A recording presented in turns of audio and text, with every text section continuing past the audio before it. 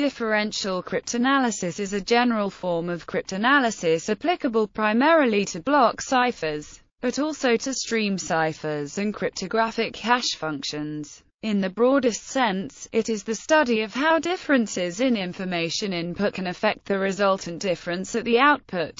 In the case of a block cipher, it refers to a set of techniques for tracing differences through the network of transformations, discovering where the cipher exhibits non-random behavior, and exploiting such properties to recover the secret key. History the discovery of differential cryptanalysis is generally attributed to Eli Biham and Adi Shamir in the late 1980s. It was noted by Biham and Shamir that DES is surprisingly resistant to differential cryptanalysis but small modifications to the algorithm would make it much more susceptible. In 1994, a member of the original IBM DES team, Don Coppersmith, published a paper stating that differential cryptanalysis was known to IBM as early as 1974, and that defending against differential cryptanalysis had been a design goal. According to author Steven Levy, IBM had discovered differential cryptanalysis on its own, and the NSA was apparently well aware of the technique. IBM kept some secrets, as Coppersmith explains. After discussions with NSA, it was decided that disclosure of the design considerations would reveal the technique of differential cryptanalysis,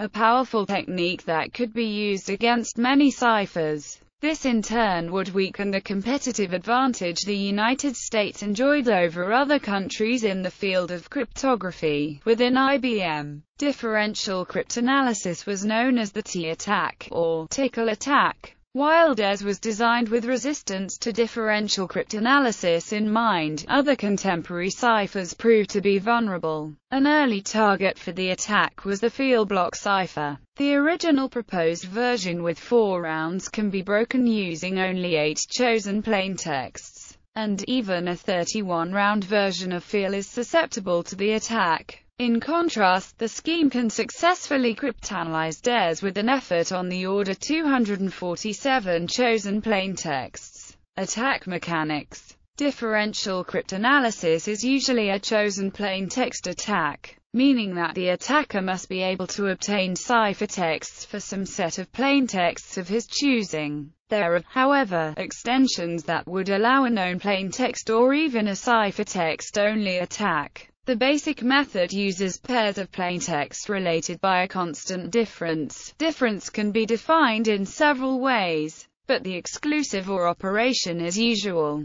The attacker then computes the differences of the corresponding ciphertexts, hoping to detect statistical patterns in the distribution. The resulting pair of differences is called a differential. Their statistical properties depend upon the nature of the S-boxes used for encryption, so the attacker analyses differentials, where delta y equals SS for each such S-box S. In the basic attack, one particular ciphertext difference is expected to be especially frequent. In this way, the cipher can be distinguished from random. More sophisticated variations allow the key to be recovered faster than exhaustive search. In the most basic form of key recovery through differential cryptanalysis, an attacker requests the ciphertexts for a large number of plaintext pairs, then assumes that the differential holds for at least R-1 rounds, where R is the total number of rounds.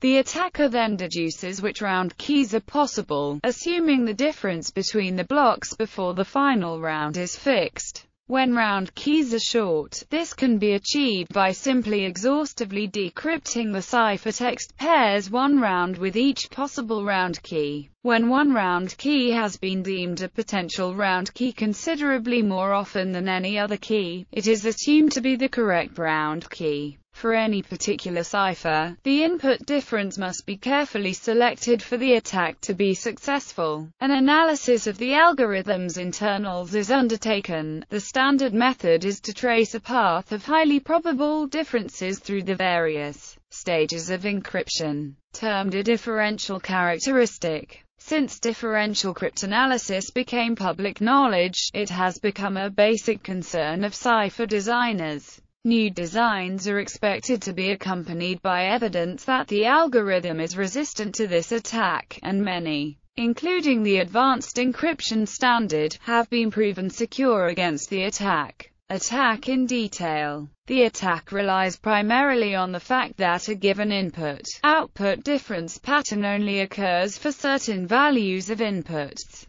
Usually the attack is applied in essence to the nonlinear components as if they were a solid component. Observing the desired output difference suggests possible key values. For example, if a differential of 1 equals greater than 1 of the input leads to an output difference in the LSB, occurs with probability of 4 256 then for only 4 values of inputs is that differential possible.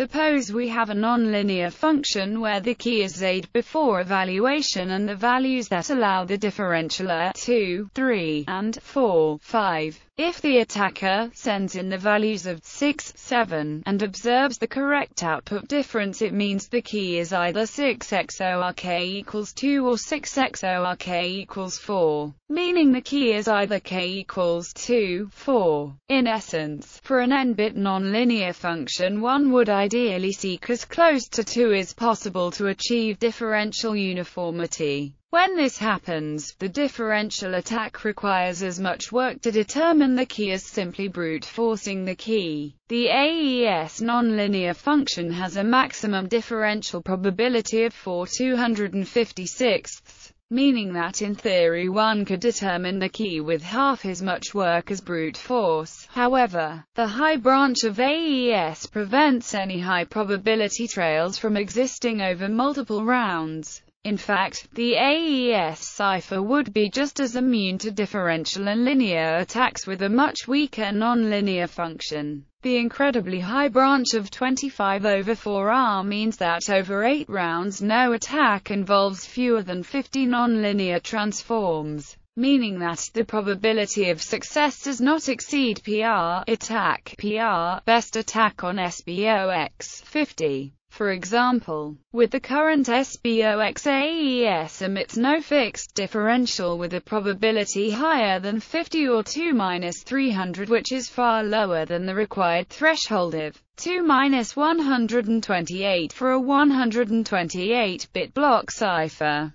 This would have allowed room for a more efficient SBOX. Even if it is 16 uniform the probability of attack would have still been 2-200. There exist no bijections for even-sized inputs, outputs with 2 uniformity. They exist in odd fields, using either cubing or inversion. For instance SE equals X3 in any odd binary field is immune to differential and linear cryptanalysis. This is in part why the MISTY designs use 7 and 9-bit functions in the 16-bit nonlinear function. What these functions gain in immunity to differential and linear attacks they lose to algebraic attacks. That is, they are possible to describe and solve via a SAT solver. This is in part why AES has an affine mapping after the inversion. Specialized types. Higher order differential cryptanalysis.